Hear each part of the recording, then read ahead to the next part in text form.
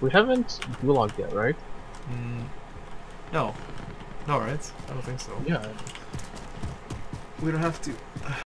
Man, some of these bullets sound like footsteps. Oh fuck on me! What the fuck? There are footsteps. That's why it sounds like footsteps. no, you motherfucker! What? Dude, I was!